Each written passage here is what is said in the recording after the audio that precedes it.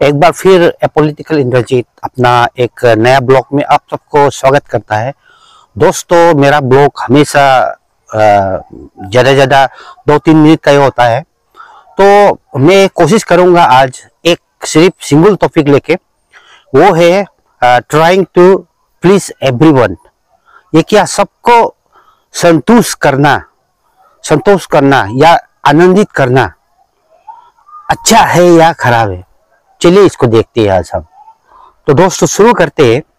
दोस्तों, ऐसा होता है, आप to be kind and to be helpful आप किसी को मदद करता है, आप बहुत अच्छा है, सबका हाँ में हाँ मिलाता है, वो ठीक है, वो बात भी ठीक है, लेकिन ज़्यादा आप इतना भी आदमी को, अगर दूसरा को आप प्लीजिंग करने लग जाएगा तो ना लास्ट में ऐसे होगा कि आपको बहुत कुछ ये करना पड़ेगा।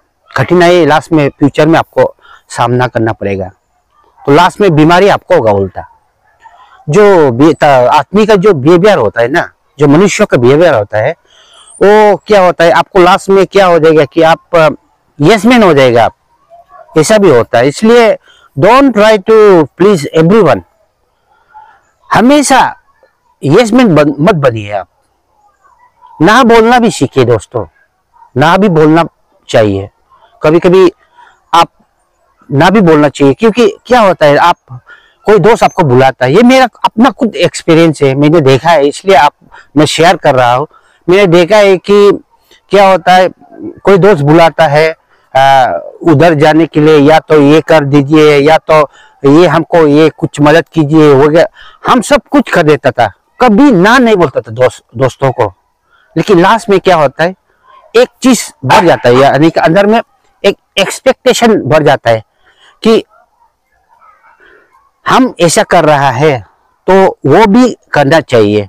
एक्चुअली ये गलत है लेकिन ह्यूमन बिहेवियर में ये आ जाता है कि आप भी सोचने लग जाता है कि वो ऐसा करना चाहिए।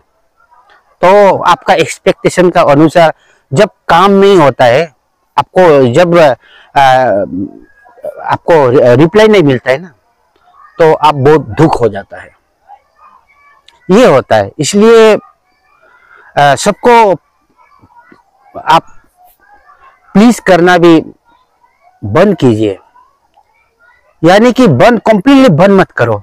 जहाँ मदद करना है जहाँ जाना है जहाँ कुछ करना है आ, वो समय को देख के कीजिए आप। अपना भी समय बनाइए। आदमी को प्लीजिंग करने का चक्कर में अपना समय तो ऐसे भी वेस्टेज हो जाएगा आपका। समय तो वेस्टेज हो जाएगा आपका। क्योंकि आप सोचेगा, अगर हम ना बोलेगा तो वो हमको ये वो खराब पाएगा हमको।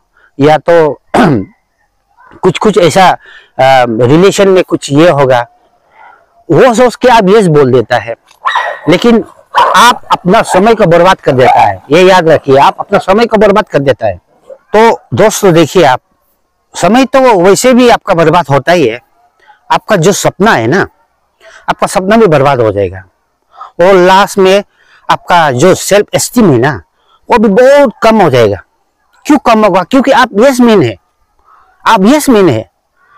आपको दुनिया सोचेगा, आपको दोस्तों लोग, आपको दोस्त लोग आपको रिलेटिव लोग सोचेगा, या तो जो भी हो आपको सोचेगा कि वो तो इजीली अवेलेबल वाला आदमी है। वो तो इजीली अवेलेबल है। उसको बुलाने से अभी आ जाएगा। उसको ये बोलने से ये वो तो कर देगा। ये सोचने लग जाएगा। तो आपको क्या मिलेगा लास्ट में? आपको दुख ही दुख मिलेगा। डिसअपॉइंटमेंट मिलेगा आपको। तो उससे अच्छा है मेरा बोलने का मुताबिक ये नहीं है कि आप लोग ये करना है कि मैंने ना कंटिन्यू बो, बोलो वो नहीं है। यस भी बोलिए लेकिन अपना समय देख के। आप सीधा सीधी बता दीजिए। देखिए दोस्त मेरा कुछ काम है मैं वहाँ पर कल जाऊँगा परसों वहाँ पर मेरा टाइम नहीं होगा। हाँ नो बोलना भी सीखिए दोस्तों। तो थैंक यू दोस्तों यही पर रखता हूँ।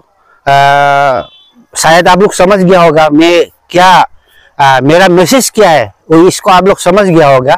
थैंक यू दोस्तों नेक्स्ट ब्लॉग पे फिर मिलते हैं। Thank you